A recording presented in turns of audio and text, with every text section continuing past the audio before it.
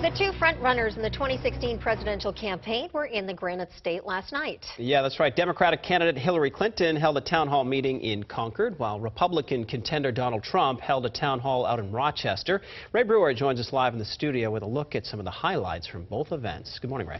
Good morning, Sean. Donald Trump once again deflecting attacks, this time from first in the nation voters.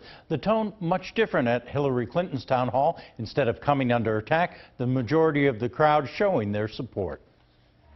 The night after Donald Trump battled GOP opponents in California, the billionaire businessman held a town hall meeting in Rochester. At one point, Trump answered a controversial question regarding Muslims in America. We have training camps growing where they want to kill us. Mm -hmm.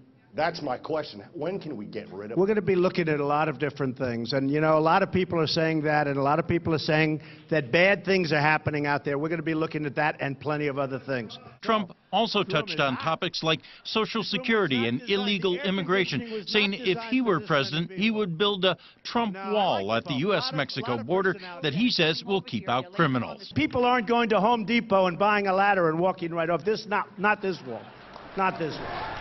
In Concord, Hillary Clinton got a standing ovation when she walked into a town hall meeting at the Boys and Girls Club Thursday night. The former Secretary of State addressing a number of issues, including the heroin epidemic. This kind of snuck up on us.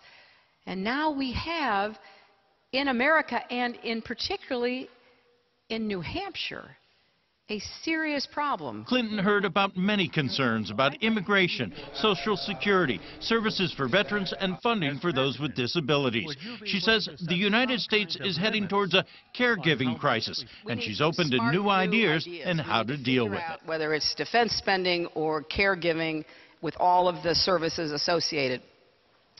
First of all, we've got to do a better job of supporting families who take care of their own family members.